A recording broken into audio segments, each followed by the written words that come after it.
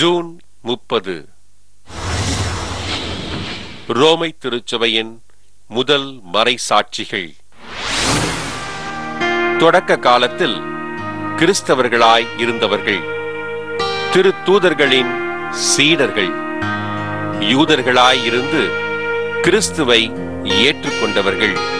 இவர்கள்தான் ரோமை திருச்சபையின் முதல் மறைசாட்சிகள் அக்காலத்தில் ரோமையில் ஏராளமான கிறிஸ்தவ மக்கள் கொத்து கொத்தாக படுகொலை செய்யப்பட்டார்கள்.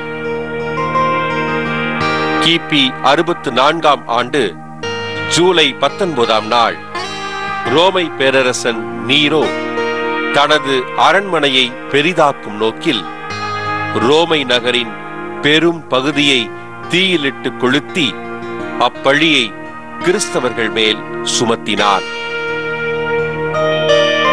இதன் காரணமாக ரோமை மக்கள் வெகுண்டெழுந்து கிறிஸ்தவர்களை சிங்கங்களுக்கும் நாய்களுக்கும் இரையாக்கினார்கள். சிலரை சிலுவையில் அறைந்து தீயிட்டு கொளுத்தி கொன்றார்கள். நீரோ பேரரசனின் தோட்டத்தில் கொலோசியம் என்ற இடத்தில் இச்சம்பவம் பேரரசனின் ஆதரவாளர்கள் பலரும் பார்த்து மகிழும் வண்ணம் மிக கொடூரமாக நிகழ்த்தப்பட்டது. ஒன்பது நாட்கள் நீடித்த இந்த சம்பவம்தான் உலகில் இதுவரை நடைபெற்ற கொடூர சம்பவங்களில் மிக கொடுமையானது.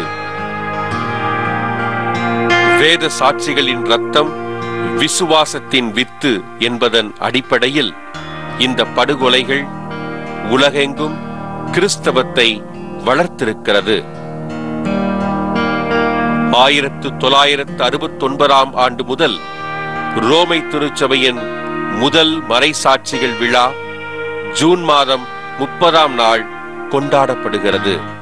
ரோமை திருச்சபையின் முதல் மறைசாட்சிகள் விழாவை கொண்டாடும் நாம் கிறிஸ்துவுக்காக தங்கள் உயிரை கையளித்த மறை சாட்சிகளின் வழி நடந்திட அவர்கள் வழியாக இறையருள் பெற்றிட ஜெபிப்போம்.